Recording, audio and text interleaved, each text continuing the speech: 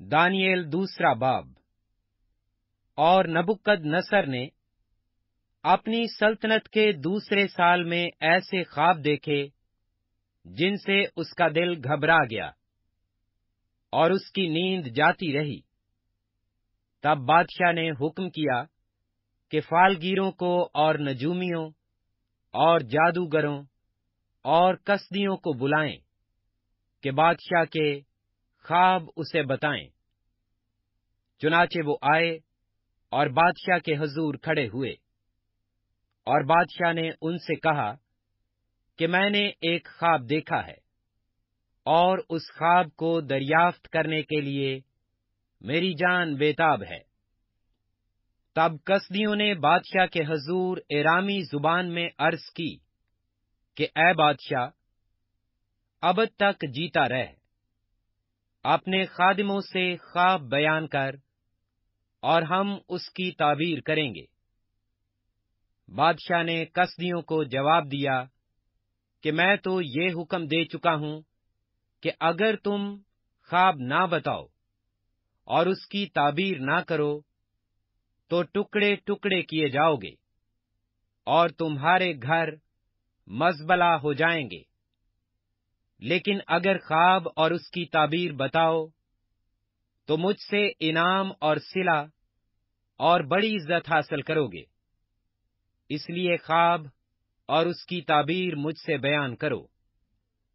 انہوں نے پھر عرض کی کہ بادشاہ اپنے خادموں سے خواب بیان کرے تو ہم اس کی تعبیر کریں گے۔ بادشاہ نے جواب دیا، میں خوب جانتا ہوں کہ تم ٹالنا چاہتے ہو۔ کیونکہ تم تو جانتے ہو کہ میں حکم دے چکا ہوں۔ لیکن اگر تم مجھ کو جواب نہ بتاؤ گے، تو تمہارے لیے ایک ہی حکم ہے۔ کیونکہ تم نے جھوٹ اور ہیلا کی باتیں بنائی تاکہ میرے حضور بیان کرو کہ وقت ٹل جائے۔ پس خواب بتاؤ تو میں جانوں کہ تم اس کی تعبیر بھی بیان کر سکتے ہو۔ کسدیوں نے بادشاہ سے عرض کی کہ روئے زمین پر ایسا تو کوئی بھی نہیں جو بادشاہ کی بات بتا سکے اور نہ کوئی بادشاہ یا امیر یا حاکم ایسا ہوا ہے جس نے کبھی ایسا سوال کسی فالگیر یا نجومی یا کسدی سے کیا ہو اور جو بات بادشاہ طلب کرتا ہے نہایت مشکل ہے۔ اور دیوتاؤں کے سوا جن کی سکونت انسان کے ساتھ نہیں، بادشاہ کے حضور کوئی اس کو بیان نہیں کر سکتا۔ اس لیے بادشاہ غزبناک اور سخت کہر آلودہ ہوا اور اس نے حکم کیا کہ بابل کے تمام حکیموں کو ہلاک کریں۔ سو یہ حکم جا بجا پہنچا کہ حکیم قتل کیے جائیں۔ تب دانیل اور اس کے رفیقوں کو بھی ڈھونڈنے لگے کہ ان کو قتل کریں۔ تب دانیل نے بادشاہ کے جلوداروں کے سردار اریوک کو، جو بابل کے حکیموں کو قتل کرنے کو نکلا تھا خرد مندی اور عقل سے جواب دیا۔ اس نے بادشاہ کے جلوداروں کے سردار اریوک سے پوچھا کہ بادشاہ نے ایسا سخت حکم کیوں جاری کیا؟ تب اریوک نے دانیل سے اس کی حقیقت کہی اور دانیل نے اندر جا کر بادشاہ سے عرض کی کہ مجھے مہلت ملے تو میں بادشاہ کے حضور تعبیر بیان کروں گا۔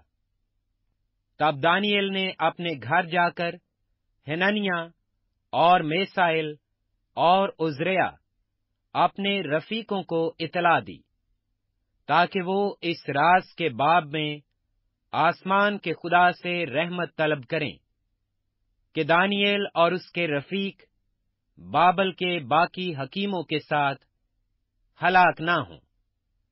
پھر رات کو خواب میں دانیل پر وہ راز کھل گیا اور اس نے آسمان کے خدا کو مبارک کہا۔ دانیل نے کہا، خدا کا نام تا ابد مبارک ہو، کیونکہ حکمت اور قدرت اسی کی ہے۔ وہی وقتوں اور زمانوں کو تبدیل کرتا ہے۔ وہی بادشاہوں کو معذول اور قائم کرتا ہے۔ وہی حکیموں کو حکمت اور دانش مندوں کو دانش عنایت کرتا ہے۔ وہی گہری اور پوشیدہ چیزوں کو ظاہر کرتا ہے۔ اور جو کچھ اندھیرے میں ہے، اسے جانتا ہے۔ اور نور اسی کے ساتھ ہے۔ میں تیرا شکر کرتا ہوں اور تیری ستائش کرتا ہوں۔ اے میرے باپ دادا کے خدا، جس نے مجھے حکمت اور قدرت بخشی، اور جو کچھ ہم نے تجھ سے مانگا، تو نے مجھ پر ظاہر کیا۔ کیونکہ تو نے بادشاہ کا معاملہ ہم پر ظاہر کیا ہے۔ پس دانیل اریوک کے پاس گیا، جو بادشاہ کی طرف سے بابل کے حکیموں کے قتل پر مقرر ہوا تھا۔ اور اس سے یوں کہا کہ بابل کے حکیموں کو ہلاک نہ کرے۔ مجھے بادشاہ کے حضور لے چل، میں بادشاہ کو تعبیر بتاؤں گا۔ تب اریوک دانیل کو شتابی سے بادشاہ کے حضور لے گیا اور عرض کی کہ مجھے یہودا کے اسیروں میں ایک شخص مل گیا ہے جو بادشاہ کو تعبیر بتا دے گا۔ بادشاہ نے دانیل سے، جس کا لقب بیل تشزر تھا، پوچھا، کیا تو اس خواب کو جو میں نے دیکھا اور اس کی تعبیر کو مجھ سے بیان کر سکتا ہے؟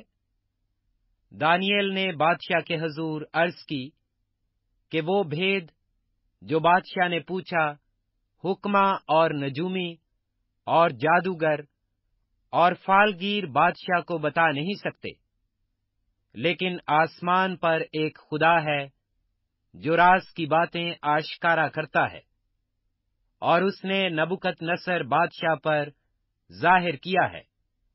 کہ آخری ایام میں کیا وقوع میں آئے گا؟ تیرا خواب اور تیرے دماغی خیال جو تو نے اپنے پلنگ پر دیکھے یہ ہیں۔ اے بادشاہ، تو اپنے پلنگ پر لیٹا ہوا خیال کرنے لگا کہ آئندہ کو کیا ہوگا؟ سو وہ جو رازوں کو کھولنے والا ہے، تجھ پر ظاہر کرتا ہے کہ کیا کچھ ہوگا۔ لیکن اس راز کے مجھ پر آشکارا ہونے کا سبب یہ نہیں کہ مجھ میں کسی اور زی حیات سے زیادہ حکمت ہے، بلکہ یہ کہ اس کی تعبیر بادشاہ سے بیان کی جائے اور تو اپنے دل کے تصورات کو پہچانے۔ اے بادشاہ، تو نے ایک بڑی مورت دیکھی۔ وہ بڑی مورت جس کی رونق بے نہایت تھی۔ تیرے سامنے کھڑی ہوئی، اور اس کی صورت ہیبت ناک تھی۔ اس مورت کا سر خالص سونے کا تھا، اس کا سینہ اور اس کے بازو چاندی کے۔ ان کا شکم اور ان کی رانے تانبے کی تھیں۔ اس کی ٹانگیں لوہے کی، اور اس کے پاؤں کچھ لوہے کے اور کچھ مٹی کے تھے۔ تو اسے دیکھتا رہا۔ یہاں تک کہ ایک پتھر ہاتھ لگائے بغیر ہی کاٹا گیا۔ اور اس مورت کے پاؤں پر جو لوہے اور مٹی کے تھے لگا اور ان کو ٹکڑے ٹکڑے کر دیا۔ تب لوہا اور مٹی اور تانبا اور چاندی اور سونا ٹکڑے ٹکڑے کیے گئے۔ اور تابستانی کھلیان کے بھوسے کی مانند ہوئے اور ہوا ان کو اڑا لے گئی، یہاں تک کہ ان کا پتہ نہ ملا اور وہ پتھر جس نے اس مورت کو توڑا ایک بڑا پہاڑ بن گیا اور تمام زمین میں پھیل گیا۔ وہ خواب یہ ہے اور اس کی تعبیر بادشاہ کے حضور بیان کرتا ہوں۔ اے بادشاہ، تو شہنشاہ ہے جس کو آسمان کے خدا نے بادشاہی و توانائی اور قدرت و شوکت بخشی ہے اور جہاں کہیں بنی آدم سکونت کرتے ہیں، اس نے میدان کے چرندے اور ہوا کے پرندے تیرے حوالہ کر کے تجھ کو ان سب کا حاکم بنایا ہے اور سونے کا سر تو ہی ہے اور تیرے بغیر ایک اور سلطنت برپا ہوگی جو تجھ سے چھوٹی ہوگی، اور اس کے بعد ایک اور سلطنت تانبے کی، جو تمام زمین پر حکومت کرے گی، اور چوتھی سلطنت لوہے کی مانند مضبوط ہوگی، اور جس طرح لوہا توڑ ڈالتا ہے اور سب چیزوں پر غالب آتا ہے ہاں جس طرح لوہا سب چیزوں کو ٹکڑے ٹکڑے کرتا اور کچلتا ہے۔ اسی طرح وہ ٹکڑے ٹکڑے کرے گی اور کچل ڈالے گی۔ اور جو تو نے دیکھا کہ اس کے پاؤں اور انگلیاں کچھ تو کمہار کی مٹی کی اور کچھ لوہے کی تھیں۔ سو اس سلطنت میں تفرقہ ہو گیا۔ مگر جیسا کہ تو نے دیکھا کہ اس میں لوہا مٹی سے ملا ہوا تھا، اس میں لوہے کی مضبوطی ہوگی۔ اور چونکہ پاؤں کی انگلیاں کچھ لوہے کی اور کچھ مٹی کی تھیں، اس لیے سلطنت کچھ کبھی اور کچھ ضعیف ہوگی۔ اور جیسا تو نے دیکھا کہ لوہا مٹی سے ملا ہوا تھا، وہ بنی آدم سے عام کھاتا ہوں گے، لیکن جیسے لوہا مٹی سے میل نہیں کھاتا، ویسے ہی وہ بھی باہم مل نہ کھائیں گے۔ اور ان بادشاہوں کے ایام میں آسمان کا خدا ایک سلطنت برپا کرے گا، جو تابد نیست نہ ہوگی، اور اس کی حکومت کسی دوسری قوم کے حوالہ نہ کی جائے گی، بلکہ وہ ان تمام مملکتوں کو ٹکڑے ٹکڑے اور نیست کرے گی، اور وہی ابد تک قائم رہے گی۔ جیسا کہ تو نے دیکھا کہ وہ پتھر ہاتھ لگائے بغیر ہی پہاڑ سے کاٹا گیا اور اس نے لوہے اور تانبے اور مٹی اور چاندی اور سونے کو ٹکڑے ٹکڑے کیا۔ خدا تعالی نے بادشاہ کو وہ جو کچھ دکھایا، جو آگے کو ہونے والا ہے، اور یہ خواب یقینی ہے۔ اور اس کی تعبیر یقینی ہے۔ تب نبوکت نظر بادشاہ نے منہ کے بل گر کر دانیل کو سجدہ کیا اور حکم دیا کہ اسے ہدیہ دیں اور اس کے سامنے بخور جلائیں۔ بادشاہ نے دانیل سے کہا، فی الحقیقت تیرا خدا معبودوں کا معبود اور بادشاہوں کا خداوند اور بھیدوں کا کھولنے والا ہے۔ کیونکہ تو اس راز کو کھول سکا۔ تب بادشاہ نے دانیل کو سرفراز کیا اور اسے بہت سے بڑے بڑے تحفے عطا کیے اور اس کو بابل کے تمام صوبہ پر فرما روائی بخشی اور بابل کے تمام حکیموں پر حکمرانی عنایت کی۔ تب دانیل نے بادشاہ سے درخواست کی اور اس نے صدرک اور میسک اور ابد نجو کو بابل کے صوبہ کی کار پردازی پر مقرر کیا، لیکن دانیل بادشاہ کے دربار میں رہا۔